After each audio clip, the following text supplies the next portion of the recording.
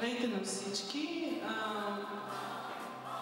Добре дошли в първата от а, разговори, първата част от разговорите с творци, които започнахме, започваме да правим сега. Тя е част от една програма, която е създадена, измислена и стартира още миналата година на фундация Отворени изкуства Пловдив. И тази програма има за цел да направи съвременното изкуство по-близко до публиката, да създаде нови аудитории, да направи по-достъпно това, което правят и казват художниците. Миналата година започнахме с една серия, заедно с Веселин Сариева и Отворени изкуства, започнахме една серия една серия от лекции, а, които са за история на съвременното изкуство. А, те продължават и в момента, в неделите, в Viva Home, Viva, които, които ще продължат и юни месец, а, когато всяка неделя през юни месец аз ще водя лекции за а, съвременно българско изкуство. А, успоредно с тези лекции решихме да направим една серия от разговори с а, съвременни художници. А, тази година са планирани четири такива разговора. Първия е тук сега с Стефан Николаев, който долетя от Париж заради този разговор. Идеята е по някакъв начин да направим близки, близки до до българската публика автори, които иначе така живеят интернационално, не бих казал в други страни, работят интернационално, някои живеят и тук, но работят интернационално. А, има добре а, така, поставена кариера в света на съвременното изкуство, а, комуникират на, на международно ниво с най- най-различна публика, но по един или друг начин не са толкова познати и толкова добре а, поставени в а, България. Това е... Проблемите са много заради, заради което това не се е случило, но именно тук се опитваме да направим някакъв вид наваксване и да направим изкуството им по-близко. Формата на артисток не е непознат за българската публика. Такъв тип разговори са правени по различни поводи в рамките на изложби или, или просто когато има интересен художник, който чието творчество може да се покаже по някакъв по-такъв презентационен начин. А, значи програмата. Сега започваме с Стефан Николаев. На 12 май е Инчевършото. На 17 юни след което през юни месец имаме Нетко Солаков и през септември месец имаме Пламен Деянов. Пламен Деянов ще бъде в Пловдив по време на нощта на музеите и галерията. Програмата може да си я вземете, тя е на всеки един стол поставена, може да си я вземете, да следите какво се случва, ще получавате вероятно и достатъчно информация по имейл. А, започвайки с Стефан Николаев, бих искала да кажа, че за мен тази, този първа лекция е много лична. А, с Стефан а, ни свързва едно голямо приключение. Това беше а, Венецианското биенале през 2007 година, когато а, аз се трябваше да направя кураторски проект за участието на, за правенето на български павилион, за път с българска сграда, българско място. Там, колкото и това да беше покана на Венеция, но все пак беше някакъв такъв исторически момент за мен и за още за българското изкуство. И аз търсих някаква удачна форма и формула, в която да се осъществи един такъв а, тип българско представяне, което да говори на различни езици, на на много широк тип аудитория, каквато е Венеция. И тогава се запознах с работите и с самия Стефан по-близко. Започнахме да работим по този проект. За него ще стане дума и в тази лекция. А, начинът по който ще говорим с Стефан от тук нататък и се надявам той да говори основно. Ние ще му задаваме въпроси, аз ще му задавам въпроси, подготвила съм доста сериозна програма. На финала също така ще има и въпроси от вас. А, започваме в а, сега. Имаме една почивка от 12.15 е планирана почивката.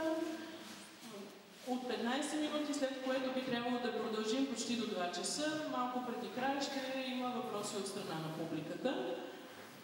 Кой, защо смятаме, че правенето на такъв тип формата в световен смисъл се, се, се, се определя като артистол, такъв тип разговори с творци са важни за българската сцена и въобще за възприемането на съвременното изкуство. Много е хубаво, много е важно, много е приятно, когато а, един художник, а, освен да показва работите си в рамките на изложби, успява да стигне лично до своята публика, успява да разкаже своите работи, да акцентира върху неща, които не винаги са лесно четими, когато застанеме пред самата творба. И в това отношение ми се струва, че разговорите с художници ще помогнат на много на публиката да стигне по-близко до художника, да го заобича, да го захаресва, да следи по-нататък неговите произведения. Това а, на мен ми се струва, че е много важно в една среда като българската, където съвременно изкуство се появява по-скоро спорадично, без да има нужния, примерно, музейен контекст, както това се случва в цял свят. Лично аз, като изкуствовед и като човек-куратор, който прави изложби, съм била винаги страшно щастлива да ходя на студиовизит, да седна с художника, той ми показва свои работи, да ми разказва защо и как е решил да ги направи, да ми да спорим понякога за това дали тази гледна точка или друга гледна точка е, е правилна или пък добре, добре изразена. Така че ми се струва, че в тази лекция сега, нека да гледаме на нея по-скоро като на един такъв интимен, въпреки цялата техника, която ни заобикаля, интимен а, разговор с художника и а, да, да се опитаме да му поставим интересни въпроси и той може би да намери някакви интересни отговори. Кой е Стефан Николаев? Може би да почнем от там. да. Кой е Стефан Николаев? А, Стефан Николаев е живял и роден в центъра на София. До един момент учи в художествената гимназия, има художници, които го познават и оттам. До момента, в който по една или друга причина съдбата го отвежда в, в Франция, в Париж. И там, а, след известен престой, той започва да учи в художествената академия в Бозар. Това се случва между 1988 и 1994 година, след което прави и една специализация през 1992 година в Англия, в школата по изкуство Уинчестър и продължава да живее и да работи в Париж, но и в София. Той е един от тези художници, които някакси разделят изкуството си, личността си, личния си живот и, и работата си между два свята.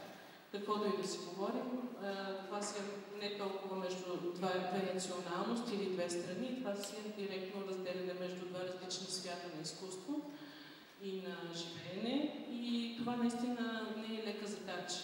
Във всички негови работи, които колкото и да на пръв поглед да изглеждат част от, по-скоро от френската сцена, отколкото към българската, присъстват тези планове на, на тук и там, на Стефан преди Париж и Стефан след Париж и на Стефан може би някъде в бъдещето.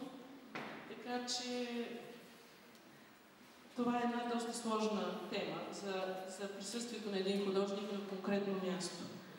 А, отделно по биографията имаме множество самостоятелни групови изложби, а, на практика в целия свят. Участва в Биеналите в Гуанчжу, в Корея, в Лион, в Франция, в Цетине, Черна гора, в Цетине получава и наградата, специалната награда на ЮНЕСКО с работата си. А, както казах, през 2007 година участва, представя България в Венецианското биенале. Това по принцип е една много силна дата за, за българското, за, за един художник, който е позициониран в чужбина. А, в а, Венеция той не беше сам, разбира се. Както казах, той беше част от проект Място, на което не си бил преди, което, който беше с Правдолюб Иванов и с Иван Мудов в компания, в общ проект. Негови работи участват редовно в Арт База, в ФИАК, в Армори Шоу, в Арко, в големите изложения за съвременно изкуство. Това, което е интересно за него, че той освен художник, който може да се види в галерии, музеи и изложби, той може да бъде, той е добре позициониран